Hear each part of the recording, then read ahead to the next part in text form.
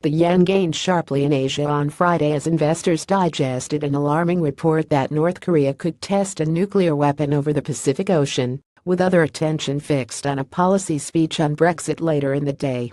North Korean Foreign Minister Ri Yong Ho said on Friday he believes the North could consider a hydrogen bomb test on the Pacific Ocean of an unprecedented scale, South Korea's Yonhap news agency reported.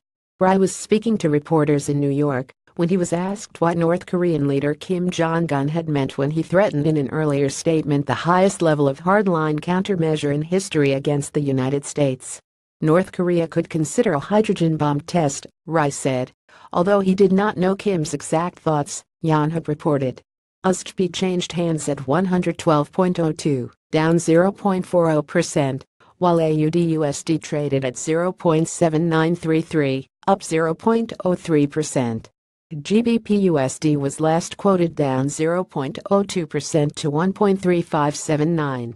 The US dollar index, which measures the greenback strength against a trade-weighted basket of six major currencies, fell 0.12% to 91.86. Overnight, sterling added to earlier gains against the greenback rising as market participants look ahead to a key speech from British Prime Minister Theresa May on Brexit slated for Friday. The dollar fell against a basket of major currencies as the post-Fed rally faded despite a duo of economic reports showing manufacturing and labor market activity topped expectations. The bullish manufacturing report beat forecasts for a reading of 18 amid economists' expectations that disruption due to Hurricane Harvey would dent national manufacturing. The Philadelphia Fed said Thursday its manufacturing index rose to a reading of 23.8, a three-month high, from 18.9 in August.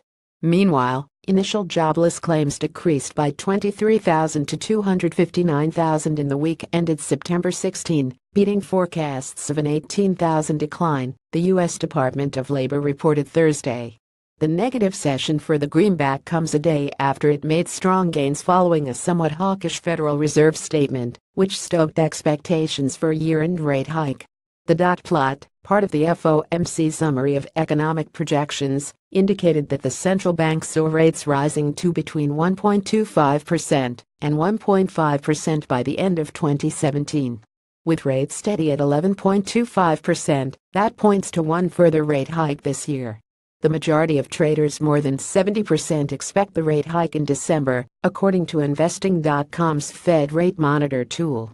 Losses in the greenback were limited, however, as the yen weakened in the wake of the Bank of Japan's overnight decision to leave interest rates unchanged. Original post